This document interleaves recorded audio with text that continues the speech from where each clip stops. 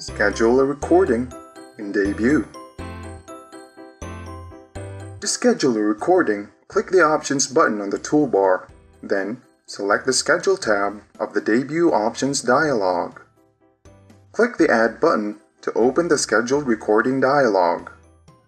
Enter the details and click the Add button. Click OK to close the Options dialog. Debut will make the recording per your settings. Continue watching this tutorial for additional details on scheduling recordings. Whether running or not, Debut will make the scheduled recording provided your computer is powered on and logged into the same account that added the scheduled recording. Use the Options button on the toolbar to open the Debut Options dialog.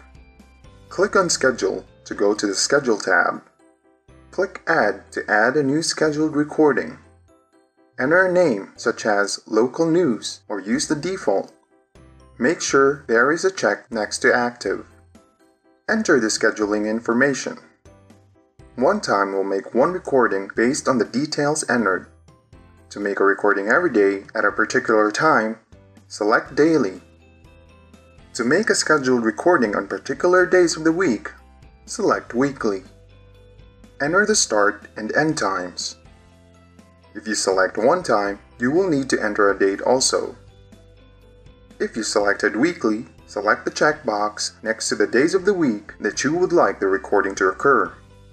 Select the recording source by clicking on the radio button next to webcam, capture device, network, or screen.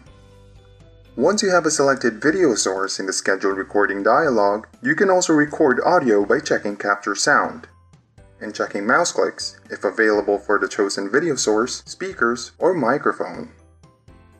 For speakers and microphone, use the drop down to select an audio recording device. When you are finished, click the Add button. To adjust the scheduled recording, select it in the list, then click the Edit button. Or simply click on the scheduled recording.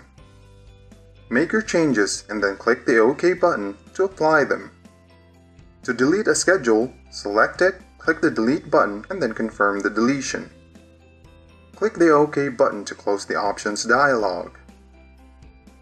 For more debut tutorials, visit the address shown on your screen.